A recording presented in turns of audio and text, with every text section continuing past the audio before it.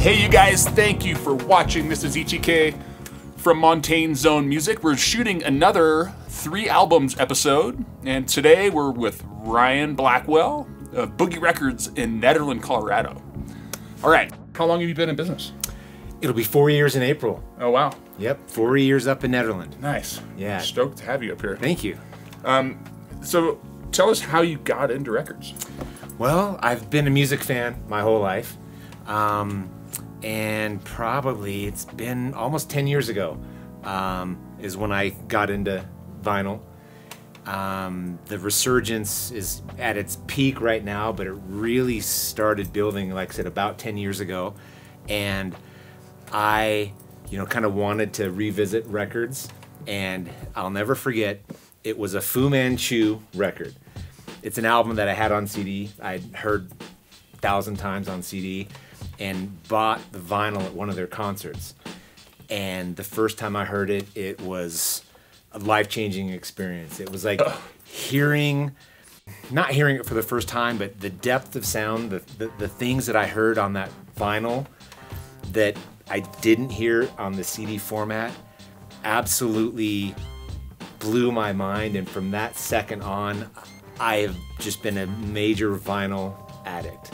Nice. All So, right. and started collecting then and Yeah. had been collecting records for, yeah, about six years when I decided to open my own store and turn my, my passion slash hobby into a business. And yeah, it's, it's been a real fun four year ride so far. Oh, great story. All right, Fu Manchu. Full disclosure, um, I'm going to quiz Ryan on three records, and I, I gave him a lead time on this so he could think about it and, and pick his three for each of my questions.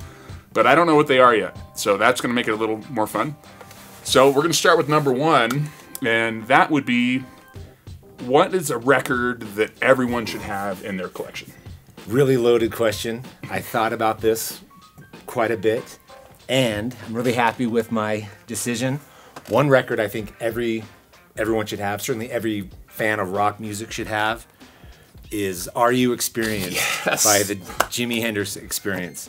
One of the most mind-blowing, groundbreaking albums of all time. 50 plus years after its release, it still sounds as amazing today as it did when it came out. Nice. Excellent choice. I have for a Thank very you. long I- time. you have that in my Yes. collection, vinyl. Yeah, this is great. Jimi, the greatest electric guitarist of all time. It's like you've got an original reprised version. Yep, that's an original pressing, straight from my home collection. Nice. Yeah. Quick side question: When you opened your record store, how much of your home collection became part of the store? What? When I first opened my store four years ago, I had about 500 records at home, and I had very little inventory, so I had to pick from my own collection. And I found it was easier than I thought to, to, to purge my collection. Weed a few things out. Yeah, at the time it was if I can replace it, then I can sell it. Um, so I would say at least 200 Oh. or so uh, records from home um, came to the store Okay. for day one, Nice. and it's been fun replacing those Yeah. over the the last four years. Probably not hard because you probably buy bulks of records, right? Yeah, some. Yeah, and my philosophy to this day is if if I can replace it, I'm I'm more than content selling it. You know, letting letting that record go to you know a good home. No. There are certainly some that I regret selling that are Oh, you know, sure. hard to get now, but Sure. that's the the name of the game. All right. Excellent. Number one. So number two is an album in your collection that is a personal favorite, maybe something unique to your collection and not everyone else. Okay, well, um, quite possibly uh, high on my list of all-time favorites is an album called Field Songs by the late great Mark Lanegan.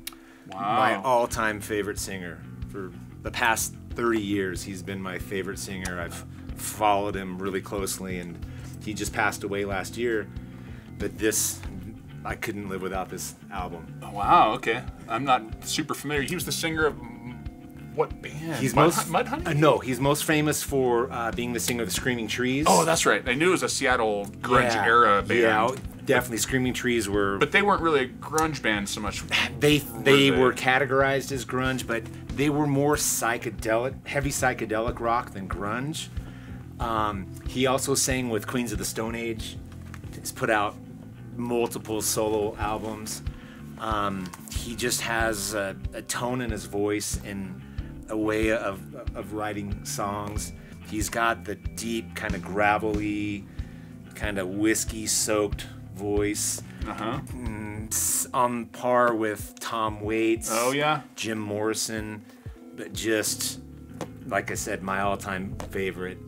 And uh, this album in particular is absolutely my favorite. All right. So this is on Sub Pop. What year Yes. was that released? That's an excellent question. 2001. okay. Yes, this is I'm thinking probably his third or I think his fourth solo album. Okay. Cool. All right. Well, we're gonna move on to album number three to close out the show. And album number three would be a record that's been turning you on recently. What's something? Yes. It doesn't necessarily have to be a new band, but just something that seems to find its way in your turntable a lot lately. So the most original and innovative album I've heard in a decade is Murder of the Universe by King Gizzard and the Lizard Wizard. oh wow. Kind of a ridiculous name, Yeah. but the most incredible band on the planet today. Yeah, these guys are crazy. I've have listened to these them a little bit. Absolutely amazing. One of the most prolific bands out there.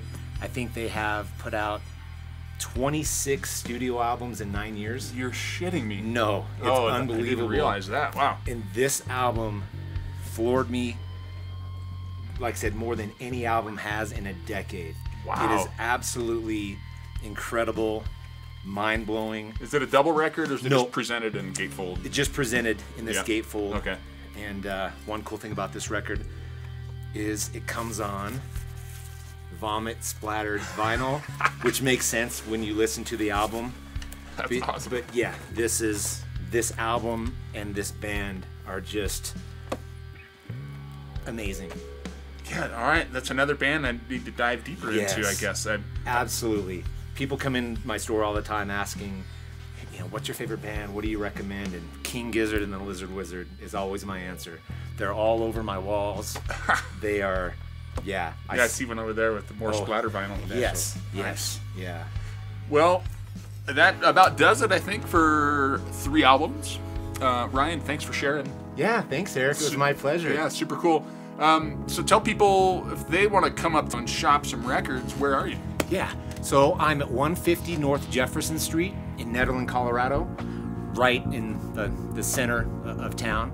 Can't miss me. Got a big sign you can see from the highway. But I think it's full of some really cool records, and I get new stuff every week, and Rad. it's definitely worth the trip. Nice. All right.